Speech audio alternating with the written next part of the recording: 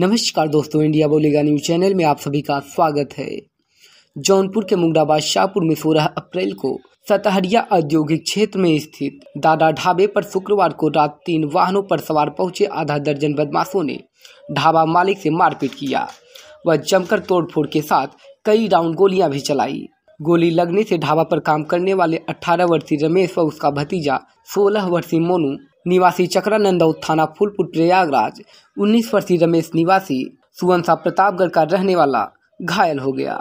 आरोप है कि बदमाशों ने बीच बचाव कर रहे ढाबा संचालक अनुपम सिंह को लोहे की डाट से मार दिया, जिससे उनका हाथ टूट गया। सभी घायलों को प्राथमिक स्वास्थ्य केंद्र ले जाया गया, जहाँ से प्राथमिक उपचार के बाद जिला चिकित्सालय रेफर कर दिया गया।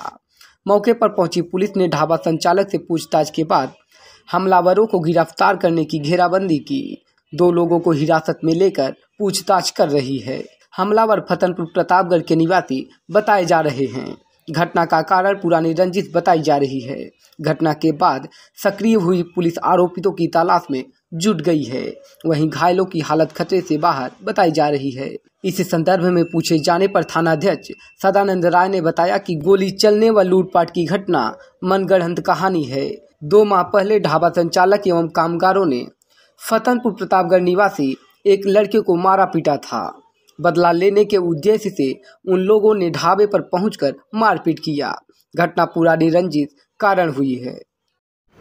अगर आपको हमारा वीडियो पसंद आया है तो प्लीज़ लाइक कीजिए, सब्सक्राइब कीजिए और बेल आइकन की घंटी ज़रूर दबाइएगा।